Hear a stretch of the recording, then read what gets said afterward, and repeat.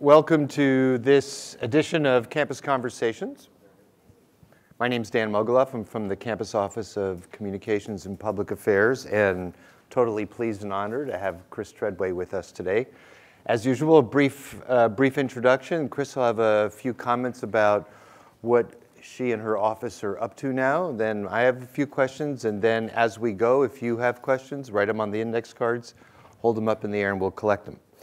So Chris Treadway is the Assistant Vice Chancellor for Government and Community Relations here at UC Berkeley. As the Assistant Chancellor, she is responsible for developing and executing a comprehensive integrated government relations strategy that aligns with and supports the overall goals and vision of the campus. In her role, she serves as a political advisor to the Chancellor and senior leadership and manages strategic relationships with elected officials, external advocates, and the UC regions. Chris has 30 years of experience in working in government and higher education. She started her career in Washington, D.C., working for the House Education Committee and the post and the subcommittee on post-secondary education.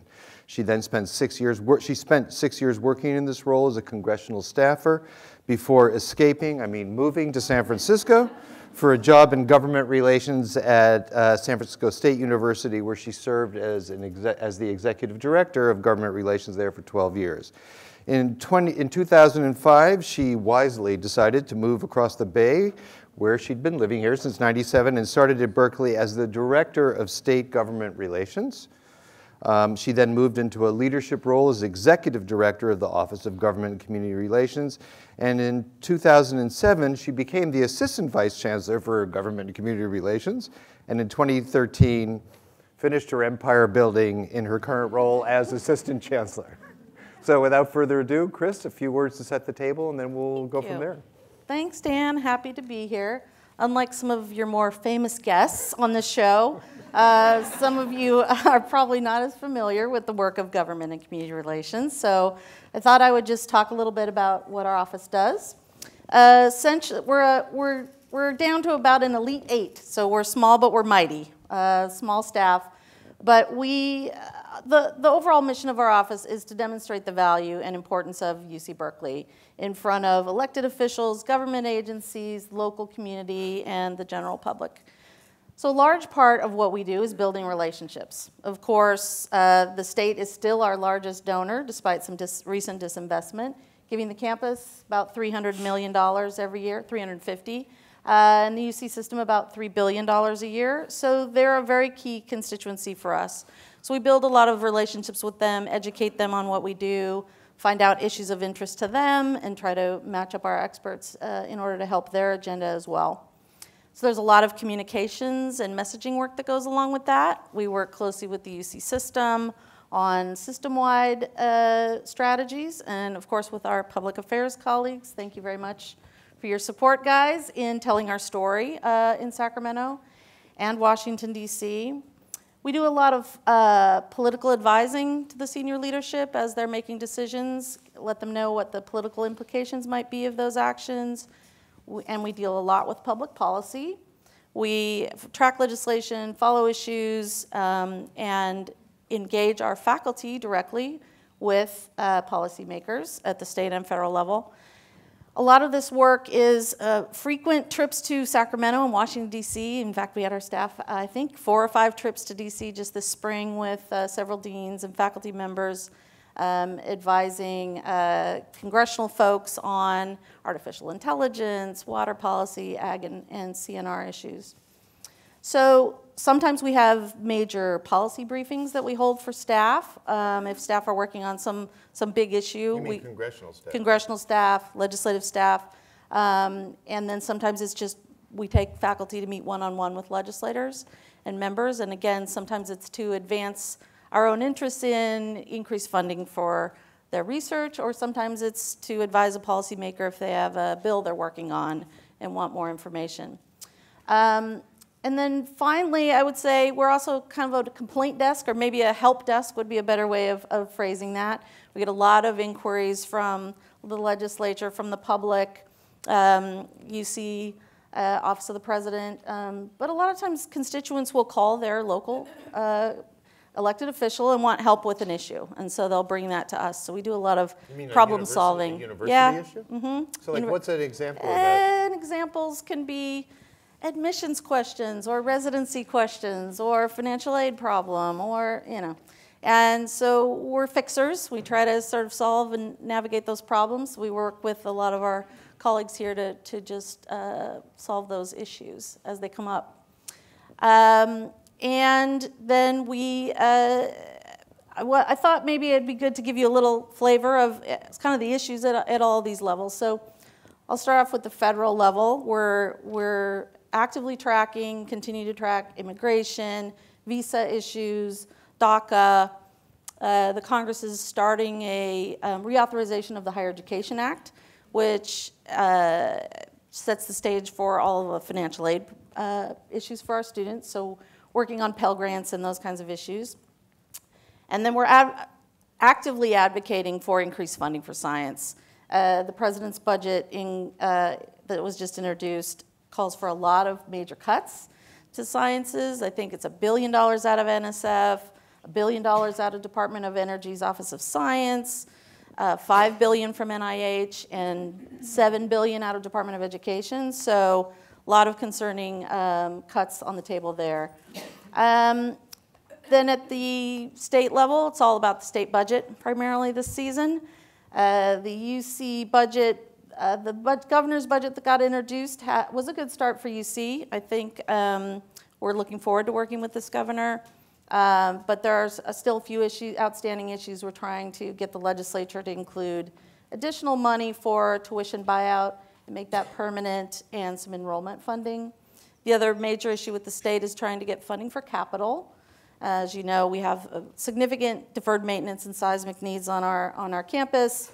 There is a bill that's been introduced um, for a general obligation bond to go on the 2020 ballot that the legislature is currently considering that provides about $8 billion between UC and CSU.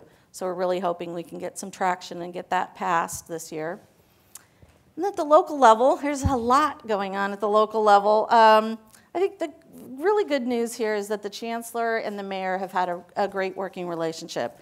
As you know, they're working on a lot of issues of mutual interest, including the housing crisis and homelessness. And so the chancellor's um, student housing initiative that she announced, where we're trying to double the number of beds in the next 10 years, um, will require a lot of consultation with the community. There's about eight or 10 sites we're looking at to be developed in that process. We also just uh, announced the start of the long range development plan, planning process, which will be about a two year effort um, that will also require a lot of engagement with the community. But we have a ton of relationships with the community, not only in Berkeley, but Oakland, Richmond, Albany. Um, and so our staff uh, work closely with a lot of the educational partnerships that are going on uh, in the city, and we manage the Chancellor's Community Partnership Fund which is about $250,000 a year, basically in grants, 300 uh, in grants that we give out every year. And the, these are really meant to improve the quality of life for the Berkeley um, community, citizens of Berkeley. And so we have the we have nonprofits partner with the university on these projects, and they support everything from education projects, arts and culture, community safety, environmental stewardship, things like that. I think we've spent about 2 million, 3 million in the last 12 years of this fund. So it's been a great way to interact with the community. And if you want more information about all of these activities we do with the community and, and our work in general, subscribe to our newsletter. Uh, it is a, comes out every week. Our fabulous Jen Loy uh, edits that, and um, it'll give you the full scoop on what we're up to. Got it. So actually, I want to start with a personal question. So I think you have politics in your family background. You've been in the po- political game for a long time. And I know we all have some pretty passionate opinions about the political world now. Mm-hmm. But what brought what attracted you then? And do you think the game has changed over the years since you first went went to work on the Hill? Well, I actually got into politics when I was in Montana. I come from a rural background, uh, moved around a bit because my father was in higher education, but I was living in eastern Oregon in a town of 12,000 people and uh, went to college actually in Montana and started as a music major. Um, and from there, I got interested actually in the US Soviet policy issues that were going on at the time the arms race. And uh, I spent a year at the University of Maryland studying the US Soviet relationship. And while I was there, I, I interned in Washington, D.C. And so I met the congressman from Montana. And then by the time I graduated, he asked me to come and, and work for him in, in Washington. So that was pretty terrific. And while I was working for him, I met his son, who turned out to be my husband. So, uh, long story short, there. So, um, so we're very involved, yes. And then um, he served in the Congress for 20 years, and then his wife was actually the first Senate Majority Leader in the state of Montana. Wow. She went into politics when he retired and came to Montana. So, so it's in the blood. It's in the blood. It's so, what do you like blood. about it? And has it has it all changed? Oh, it's changed a lot. Um, when I first went to Washington, there was a lot of collaboration between Democrats and Republicans. This was in the late 80s, and it was very collegial. Um, while there would be disagreements, um, staff would usually just get together and over pizza, we would hammer out differences in conference bills and work it out. And so there was a lot more collegiality. You would see the members getting together, even spending time with each other, um, out to dinner together, arch enemies out to dinner. Um, and then I think it started to shift in 96 with the Republican revolution um, and take over the House. And it started to get a lot more um, political. And even committees like mine, which were very much policy based, where you would just sit down and work out the details of the policy you were trying to do, turned into po more political conversations. And so, so the environment there is, is extremely heightened politically and divided. So. So how do you think that politicization is impacting, at least in Washington, higher education issues? Have we become a political football, meaning the whole sector? How is that affecting us, do you think? Well, I think there's definitely a, a tendency towards thinking universities are elite and that they are sort of a liberal bastion, uh, more and more and more becoming, I, I think, perceived as, an, as elite institutions and um, an interesting thing, that some of the Pew, the Pew um, Center has done some polling between Republicans and Democrats and what, how do they feel about higher, education, and it's pretty different. Um, and the messaging that universities are using, even around scientific issues, we are starting to use different phrases instead of um, instead of uh, uh, climate research. You can you can talk about it, impact on agriculture or natural resources, or um, you know, they like the term health research more and medical research that is really tied directly to people's concerns. And so I, I think that that there is a crisis in the perceived cost of education, the lack of access, and some of the elite mentality. We'll come back to the federal level. I want to um, jump over to Sacramento for a second. Um, and I know you have to be really diplomatic, but lean in as much as you can. Um, so the last governor was known to have a complicated relationship with the UC, let's mm-hmm. say. What's, what's it looking like with the new governor? What are you sensing and hearing from the new administration, and how does it bode for us? Right. Well, I want to, uh, seriously, our, our role is, is to be nonpartisan but uh, I will have to say that I personally think that this Governor Jerry Brown was actually very good for the state of California. He came in in a terrible time. I think the state was facing $27 billion deficit. And he came along and really applied this fiscal conservative, conservatism to his job. And he was very successful in turn in had a, a large role, I think, in, in turning the economy around. Um, and he ended up with projected $15 billion surplus. The rainy day fund, I think, is 14 billion, 15 billion now. So um, he really held people's feet to the fire to be, to be um, you know, very uh, conservative with the spending, which I think was important. And of course, he really left a legacy of climate change, and he, he really did a lot for the working poor, inequality issues. Mm-hmm. So I think, generally speaking, he was terrific for California. It's no secret that he had issues with uh, UC, and uh, some of that I think really was in his philosophy. He, he rejected, bristled at the idea of excellence, um, and and but really didn't elitism, like right? elitism exactly, and did not appreciate us always saying we had to compete with Stanford and Harvard, and and so he wanted us to just be good enough for California.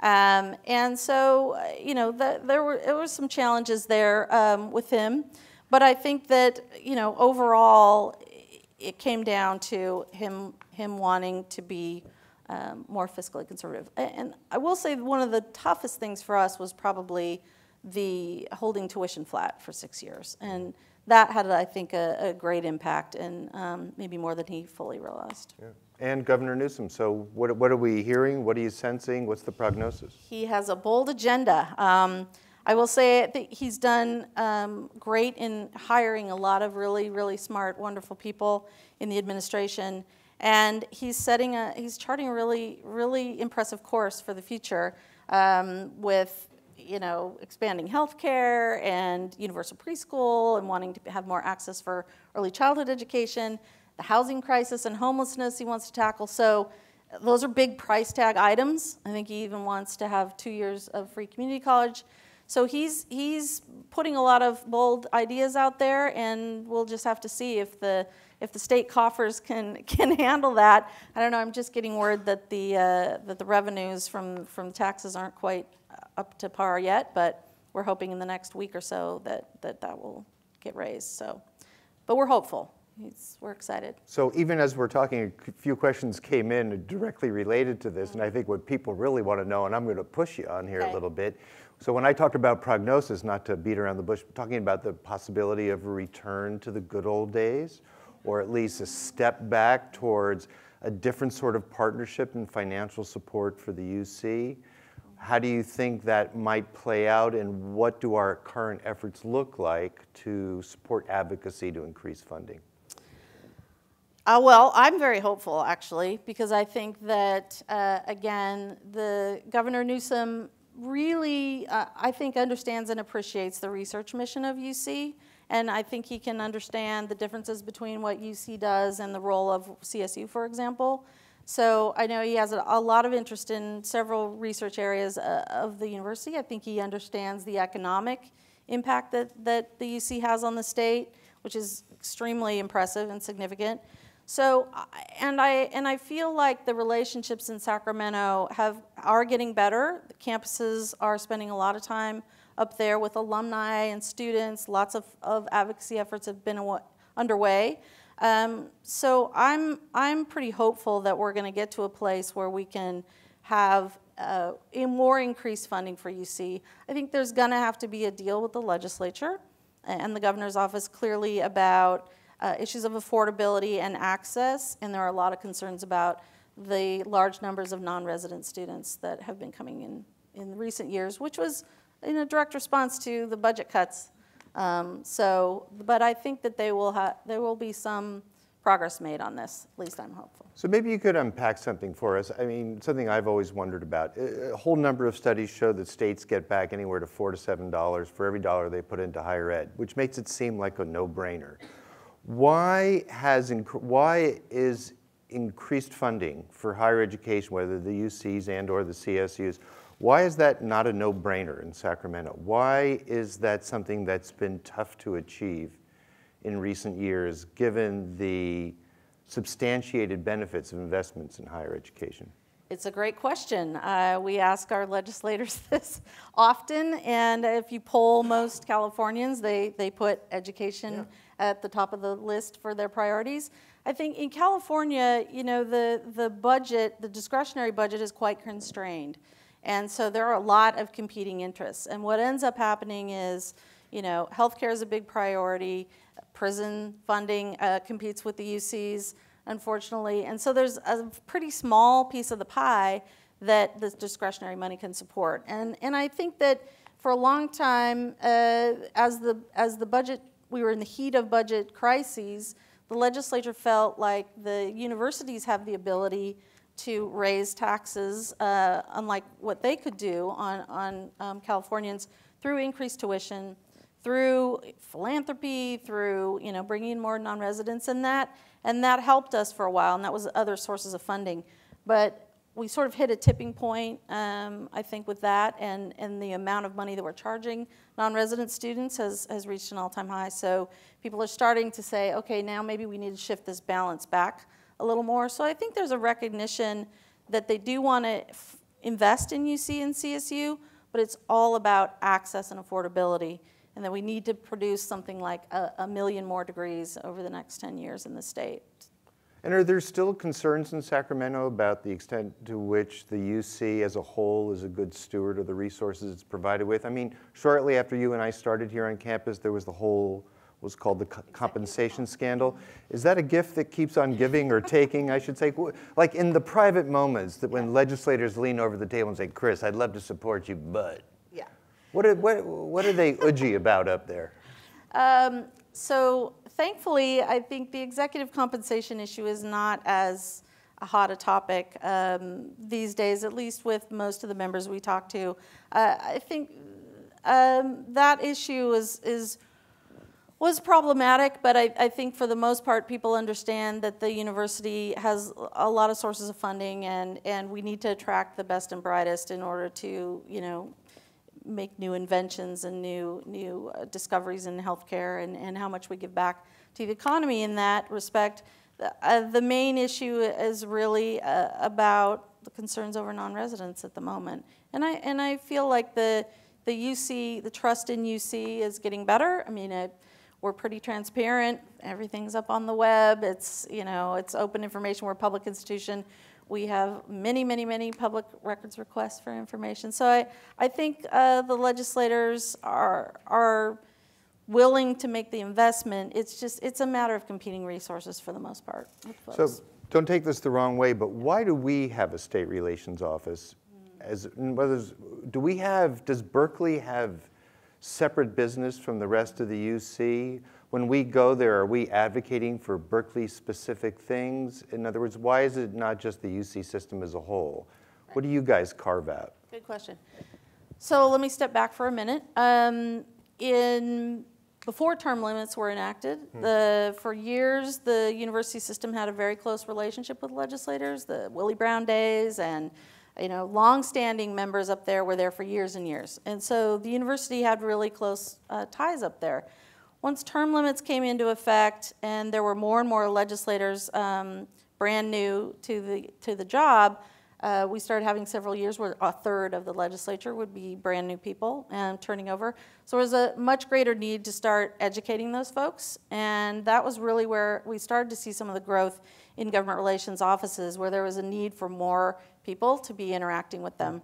So campuses in the UC have always tended to have some kind of government relations presence, um, and it really is about advancing the interests of the UC. When we go up there on budget issues, it's we speak with one voice because there is one line item to the university. Um, but we tell them what the impact is for our campus. And we have lots of researchers, again, who have um, projects they're doing with state agencies, or they may be expert in an issue that will help legislators. And so we, we give them access to that. Yeah. So another question came in, and something you and I have talked about also. What opportunities and do staff faculty you've talked about a little bit, and students have. I mean, do you bring staff and students up to Sacramento? Does that make a difference? Is this something where broader engagement helps our cause? Talk to us a little bit about, explain what we do and how that all works. Yeah, so our, our advocacy efforts have sort of ebbed and flowed throughout the years, um, depending on the issue. I would say when we were facing the billion dollars in budget cuts, we, um, We, you mean the system the as a whole? system had, yeah, a billion as a whole. I mean, um, Berkeley, our funding was cut in half essentially. I think we were about 500 million, went down to about 250. Um, so we had a very aggressive advocacy effort in those days where we did involve um, a lot of external alumni, but also staff and, and students in, in lobbying or advocating um, on our behalf. Uh, we tend to be pretty directed because we're a small office. We try to be targeted in our efforts so that we can approach the right people with the right message at the right time rather than bombard people. In the old days, you kind of used to send in postcards, you know, and you'd get 10,000 postcards sent to a legislator on an issue. And uh, honestly, I think the, these members are much more sophisticated now about how they interact with their constituents, and, and so bringing the people in that can answer their questions um, I think builds the best relationships for them. But we obviously always welcome people to go to their local district offices and know their legislators and let them know that you support UC. And it's a pretty broad message. I think everyone always says to me, what should our messages be? What is UC really trying to do? And at, at the end of the day, it's tell your story. Tell them why you care about UC and why it should be supported, because that resonates the most with them. So I'm, I'm just wondering, sometimes I hear from alumni and others and say, you know, you guys only get 12% of your budget from the state. It's not, just go private. Or, I mean, oh, it's crazy, but Yeah. um, is it worth it? What's your response to people who say, look, we put up with so much, they would say, and we only get 12%? What's the pushback? What's the response to that? Well, first of all, we're a public institution that was founded um, by the public, and so we ha- and we're a state entity, so our buildings are state-owned and we're state employees, and and so even though we may not get a majority of our funding from the state, um, they, we have a public interest. So I think becoming private would be a real challenge because there, there's a lot of of investment here that they assets that they own. So that would be a trick. Um, but I, and I know I think there's there's frustration sometimes with, with the amount of oversight and overreach. We really are governed by the the UC regents, and they have constitutional autonomy. But because of the relationship to the budget, we try to be as responsive as we can to the legislature. Uh, the autonomy is really set up to prevent political persuasion uh, um, on the university, and so that way they could preserve academic freedom. And so, for the most part, all of that I think is, is still intact. But, um, but you know, if the legislature is giving us $300 million a year, I would think they, you know, can tell us kind of what way they want us to do with it. Yeah, that would seem to- Generally speaking, Yeah, that would yeah. seem to buy some influence. Um, In terms of the agenda, another question came in, and- and that has to do with whether the campus is advocating in the capital for money for student housing or for new development. And this is something we hear a lot about, that we don't have debt capacity or the state's not in the game anymore in terms of providing funds for capital projects. Is that part of our agenda? And what's that situation in terms of not so much the operating budget, but access to capital for construction? Right. So uh, that's another very fascinating um, question. The state used to fund about, they they now are providing only about a tenth of the capital that they used to fund for the university. Um, we have not had a general obligation bond since 2006 on the ballot And general obligation bonds were used to finance to construction? finance construction for, for new buildings. Because of the campus's recent budget prob- difficulties with our structural budget deficit, we did not have very much access to capital um, to issue our own debt. But because we've now balanced our books, there is some indication from Office of the President that we, we will maybe be able to use some of our funding for particularly student housing. We've been exploring uh, public-private partnership models to also build housing and, and um, provide other, other needs on the campus. So the capital funding, we really need to try to get through a general obligation bond because the state just doesn't have the resources to support that any Got longer. it. Think any chance of that may change in the future? Here too, like a return to the good old days in that sense? I doubt it for capital. I mean, I think the governor's proposed $138 million just for, for deferred maintenance to just help us keep pace with the existing buildings and the upkeep. And of course, Berkeley has a very significant deferred maintenance and seismic issues on our campus. So uh, we have a lot of need there. Um, but so without a, a, a general obligation bond, I don't see that there's there's just not that much one-time money available to be able to address that need. So a couple more questions about Sacramento, then we'll move into the town gown, and maybe if we're feeling really brave, talk a little bit more about Washington. Um, I'm just curious, you, you take the chancellor to Sacramento on a regular basis, and I think those of us who've heard her speak know that she has pretty extraordinary communication skills. Does that make a difference? Has, has her engagement, do you think, had any impact on the way our campus is seen and the extent to which we're meeting some of our objectives up there? Absolutely. Uh, Chancellor Christ um, has been amazing in, in all of her political engagement, and she really did make it a priority to be engaged locally and to be engaged with state legislature. Uh, she hasn't done as much engagement federally, but, but she really wanted to focus on trying to get increased funding from the state, and, and it's definitely noticed. Um, their chancellors you know, have been going to Sacramento, I think, more frequently. But we, uh, we get a lot of response from staff and from legislators telling us how much they appreciate having the chancellor's face up there. It, it demonstrates the commitment of the campus and that she's really spending the time, and she spends a lot of time there. So it's paying off. And she's and she hosts people here. We have a lot of legislators that come to campus, and she's hosted them um, a number of times. We have had a member here yesterday, senator, um, who came to campus. So there's a there's a frequent interaction, eh, but it makes a difference. Are you going to see the governor here? Uh, I would hope so. Yes, hopefully we will. Um, a lot of his staff have been coming through, and so I'm sure Well, one of them is an alum, right? Joey's, uh, Joey Freeman is one of his senior legislative staff.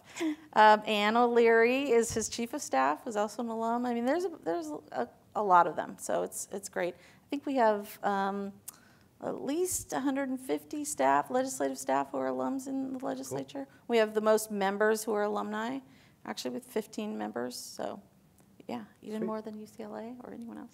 all right. Sorry.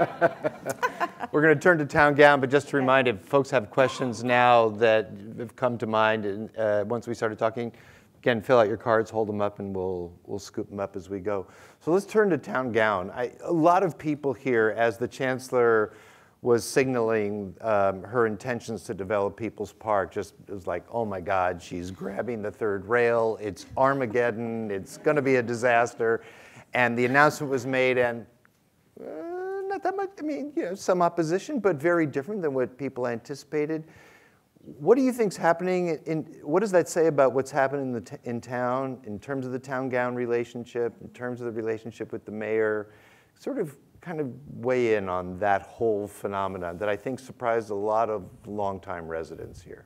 Wow, you just went right for it. Um, yeah, People's Park. Uh, I, I was surprised somewhat also uh, that it's been difficult to get leadership here to want to take that on. I mean, it's, it's a, we've been talking about it for many years and the need to really clean it up um, because it's not the best use of, of the space, frankly. Um, and we've had a lot of, a lot of difficult issues around the park. Um, so I was thrilled when the chancellor said that she thought this was the time to take it on, and, and it, it really is the urgency of the moment in needing to have more housing, and, and this, that the city embraced that with us as well.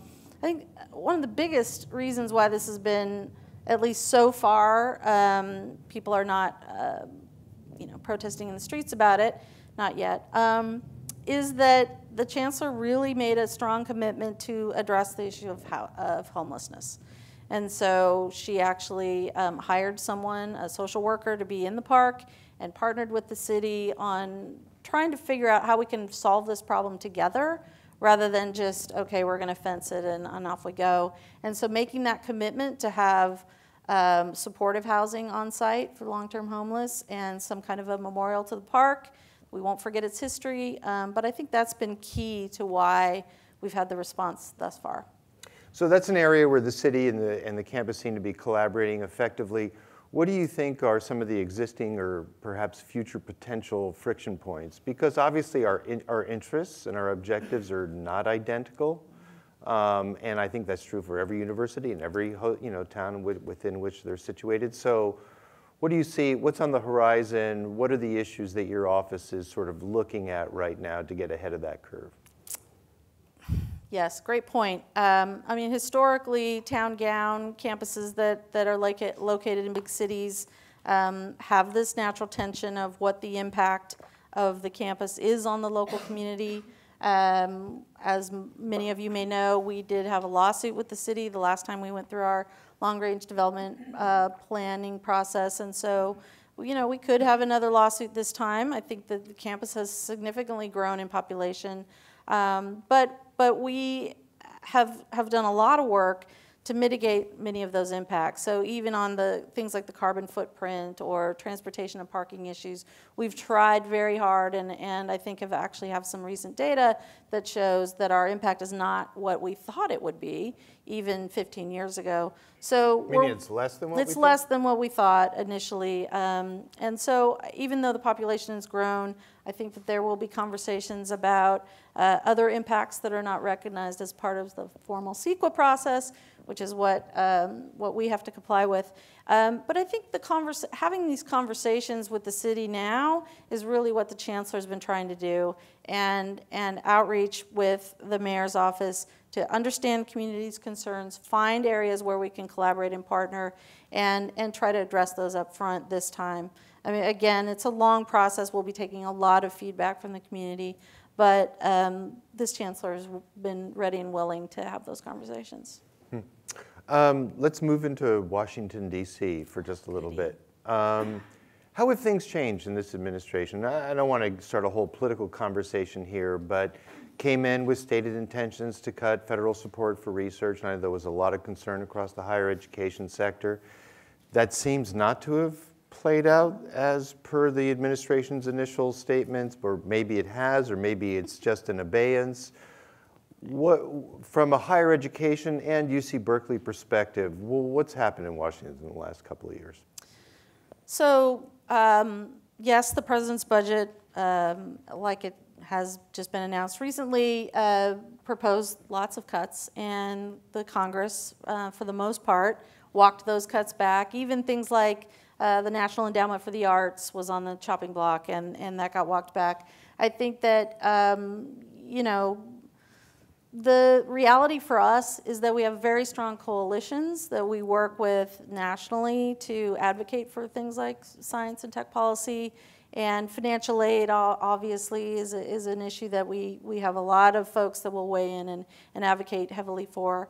So the, the reality of the day to day is that when, when we hear about things being proposed, we send lots of folks up to make our case and again work with the National Association to put out our messages and just work those members um, one at a time. We, we try to partner with uh, higher education institutions in red states, for example, and go to those members who are on key committees um, to make our case. And so for the most part, I think, you know, other than this most recent round of pretty significant cuts to the science budgets, you know, we've, we've been okay. I think the, the Higher Education Act, if, it, if they move forward on that reauthorization, will be interesting, um, given the dynamic where they're always trying to make some modifications with student aid um, issues will be, will be something we'll have to really pay attention to. Um, and of course, you know, we, we hoped the DREAM Act would get uh, enacted, and, and that continues to be something where pretty bipartisan. There was a lot of bipartisan support for that. And so we're hoping that that, that can continue to be possible. Do you see Congress continuing to be a counterbalance to perhaps some of the administration's desires? Is that oh, gonna, definitely, yeah. yeah. And with the with the um, with the Democrats now in control of the House, uh, that's that's obviously going to shift the dynamic here. Um, it's hard to say. It sounds like there are certainly a lot of Democrats who really want to continue down this sort of investigations path of the president. Um, some even talking about impeachment, but Nancy Pelosi's been cl pretty clear about how she doesn't doesn't want to go down that path. So uh, it's hard to see. I would imagine that we're going to be back to gridlock uh, again on, on a lot of issues, um, but there are there are there are ways to come together with the Republican leadership to again I think advance issues of um, importance to the country, particularly in in scientific innovation that we can come together on those. Yep. A couple of questions um, on a related front. So this one is, um, and I think you answered the first part, does your office engage in lobbying for increased federal funding? But the second part here is how can centers, and I'm assuming research centers and institutes on campus, and individuals be involved with that advocacy? And also asking how your office works with the Vice Chancellor Research's office that also engages with Washington. So how can sort of how can all of us be involved? Is there some role? And also how do you integrate in your efforts with other parts of the campus that have a big skin in the game, in the federal game? Right. So first of all, uh, technically we don't lobby. Um, we're not registered federal lobbyists. Um, our campus, uh, and there and there is a slight difference. We advocate um, on behalf of the campus for increased funding, mm -hmm. but we don't. Um, our campus does not take a position on a bill or you know that the way um, traditional lobbying works. So it's very similar, but we call it advocacy. Um, our office works very closely with the Vice Chancellor for Research um, on connecting with agencies to increase funding and also to work with faculty who want to visit the Hill, for example. So centers, people who, who want to advocate for increased funding for their projects, our, our office works very closely with them. We, because we're small, we have, uh, we sort of sit down with folks and talk through what they really need, what the, what the like, uh, likelihood of success would be for what they're asking for, and kind of do a little bit of a political matrix of assessment around what they're asking for. Um, but generally speaking, we're here to help. We're here to help them connect. Even if we don't have bandwidth to take them ourselves, we can work with actually the Office of uh, the UC's Federal Relations Office in DC can often jump in and help uh, to staff people or give them information, help connect them on the Hill. So we're, we're here as a resource and, um, and frequently do take people around and, and help them get funding. So another one from the audience here. Can you elaborate on your current policy or advocacy efforts um, on immigration issues for international students, scholars, or faculty staff, and also DACA. Uh, this person is interested in your or your office's current priorities for these groups. And again, um, I understand these groups to be um, dreamers, as they're called, international students, scholars, and employees in, in, around immigration. So that's a big field, but maybe are, are you involved, is your office involved in this? Is the UC, what are we doing? UC is very involved. It's, it's been at the top of their priority list for some years.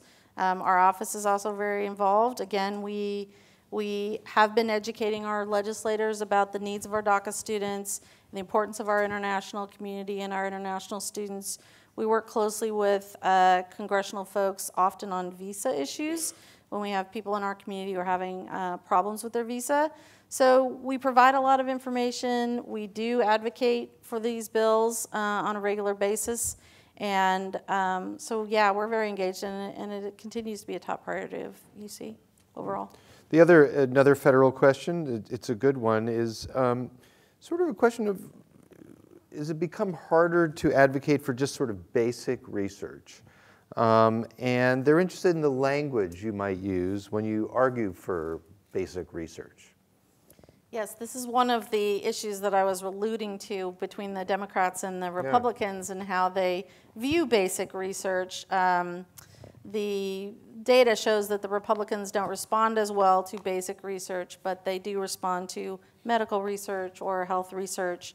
So um, we take the lead again from Vice Chancellor for Research on, on what their top priorities are for us. It guides the, the kind of issues and efforts that we get involved in um, on that side of things. But yes, the language does matter, and yes, we tailor our messages to different audiences because we want to, you know, educate them about what this means for them, no matter where they fall on the political spectrum, because we think it is important for everyone to support this kind of activity. And here's a more targeted question. Um, it says, can you address um, whatever you might be doing around cannabis or CBD research and the extent to which we might be seeking or, uh, or be interested in federal state funding. The, this person says it seems like a significant part of the California economy right now. Um, so anything like that on your radar? You know, uh, the issue has come up. I believe we do have cannabis research uh, going on on our campus. Uh, it hasn't something been something that my, I've directly been involved in. Maybe my staff have, have had some connections with them um, to, to educate our legislators about what we're doing with cannabis research. Is probably the extent of it at the moment. Got that I know of. But I haven't been intimately involved with that. So. Got it. Um, we're going to swing back to the to the state side for um, well, probably the last few questions here. This is an interesting question. Um, do you think there's any chance that Proposition 209, and that's the proposition for those of you who don't know, precludes uh, the campus from looking at um, ethnicity, um, among other things, when it comes to admissions, and I think hiring practices as well. So this person asked, do you think there's any chance that Prop 209 might ever get reversed? That's an interesting question. Um, I would say there were about uh, maybe five or six years ago. There was there were a lot of efforts around this um, working with different constituencies to really push to get this overturned. I think the reality of how UC does admissions right now, um, most of the other campuses have, have followed Berkeley's lead in doing uh, this very comprehensive approach to admissions where we don't just look at one thing and, and it's a holistic approach. I think we have 14 criteria we look at. And so we're, we're really kind of, kind of moving away from that, uh, that mentality, uh, I think. And so I, I feel like admissions, we're going to have a lot of scrutiny on admissions process given the whole admissions scandal um, going on. And so we have state audits happening, we have our own internal audits happening, there's legislation. So there's going to be a lot of oversight over our admissions policy. But I think it's pretty solid right now in that it, it, it includes a lot of different factors, not just race. Yeah. Um, we're only going to have time for a few more, so I see some people who are writing on cards. We probably won't be able to get to it because we only have a few more minutes, but we'll try. Um, sorry, just for a second, this one. So I'm going to hop back to the federal side. Actually, I meant to ask it before. And this person is asking about your office's involvement in the whole foreign influence and, and research conversation. For those of you who may not be aware, we have a, had a lot of interaction with federal agencies about for, um, support or contributions from foreign companies, particularly China and scholars from China and faculty who are involved in China. There are, there's a lot of energy around that right now. Um, and so this person is asking, this person notes the uh, Department of Energy uh, uh, recently released memos potentially restricting um, researchers receiving funds. Uh, I guess this has to do with, uh, again, uh, interactions or collaborations with China or with Chinese research or Chinese entities. What's going on with that? What's the, how do you take, how would you assess the situation? Are we, is it peaking? Is there more to come? And how, what kind of involvement does your office have? So there is a lot of, um, of work being done on this in Washington. There are, I think, at least eight congressional committees between the House and the Senate wow. looking at um, the issues around foreign influence. Um, it continues to be a, a, topic of great interest to them. Um, there are, I think, inquiries going on even with the National Science Foundation, NIH, around existing grants, um, and they're, they're reaching into universities and asking all sorts of questions.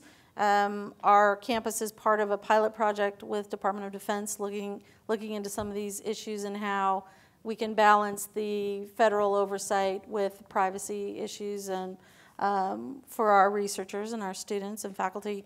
Um, so it's, it's a hot topic. We're engaged again with the UC system on this. The UC system had two different Tiger teams on internationalization and foreign influence looking at these, and there is a, there is a committee on our campus uh, co-chaired by Randy Katz and, and Lisa Alvarez Cohen who are looking at, at all the implications for our campus. So yes, we're engaged in it, and it'll be, I think, going on for, for some time. So what's the university stance? Is it like, nah, there's nothing to worry about here. This is just another red scare, or oh my God, yes, we're freaking out, or somewhere in the middle, there's some legitimacy to these concerns. What's what's our stance as the, as the UC or Berkeley, however, however you want to put it about all this? Well, we're taking it very seriously. I mean, there were there were indictments around the Huawei um, uh, partnerships, and so uh, Vice Chancellor Katz has, has been actively involved in that and, and stopped our, our current engagements with Huawei. Actually, future. A future, yes, right, yeah. suspended future, thank you. Um, so it's, it's, it's not a nothing and it's not hair and fire. I think we're, we're walking this line of how we need to be responsive clearly to the, to the government's interests, but also um, be responsive to our faculty and our researchers and our students who come from other countries and have a right to be here. So here's another interesting question. You mentioned in the beginning that you had a small, the Elite Eight, but somebody asked a good question. So if you had more people, would it help? I mean, mm. what, what's, what's, yes. who got paid off here? Um, I mean, in other words, if you had more people, what, what, what else would you be doing if you could? What, what there is being, is being left unaddressed? Being left unaddressed. Well, uh, look, what we have to do with a smaller team is just scale back the, the amount of, of work that we can do on any topic. I mean, we tend to be uh, people who have to deal with a lot of different things, and so we, we're kind of a mile wide and an inch deep, although we build up expertise in particular issues as needed. Um, But there's so much going on at the federal government and at the state government. that way. uh, that, I mean, let's just take local, just given what we have on our plate for this housing strategy and all the work with the community. We used to have four uh, people in our office doing uh, community relations, and we now have two, or one and a half, or two. Um, so it's it's just limits the amount of effort that you can that you can give to these issues, and and it's a lot a lot to juggle. So I think we could we could be advancing more of our interests, particularly in Washington and in the state and locally if we had more. So this is going to lead to what, what is the last question, and you addressed it partially before, but I really want to come back to it because mm-hmm. it's something that I think we hear a lot, and particularly in the context of the fact that perhaps you don't have the size staff that in a perfect world you might have. And the question is, what kind of institutional mechanisms or support can students leverage to get involved? And, and I just to really talk about that student angle, besides just writing to their congressman, are, are there effective, beneficial avenues that students who want to advocate and get engaged can, can, you know, can access? So first of all, I'll just do a quick pitch for UCAN, which is the UC's advocacy network. Everybody can sign up for that. The, the notifications and the work that, that's done through the UCAN network gives people a lot of information about what's going on, tells you ways you can get involved. From our office's perspective, we partner with students and student leadership in particular to not just send letters or make phone calls, but we engage with them in actually visiting legislators' offices. The chancellor has actually brought students with her on her visits to the Capitol, and so we, they're an important voice. And we, we just had our um, UC Berkeley Day in Sacramento, um, where we brought uh, two different teams with alumni and, and the chancellor and a regent as well as students. So we try to include them because they are a critical voice for us. So. Super. Yeah. So before I thank Chris formally, just to note that um, the next campus conversation will be on May 13th with none other than Chancellor Christ and Executive Vice Chancellor and Provost Paul Alivisatos, and that'll be in here. Oh, we're going to have it here. So look forward to seeing all of you then. And otherwise, Chris, I want to thank you for walking that tightrope really, really well today and for all the work that you guys do. Thank Appreciate you. it. Thanks for having me.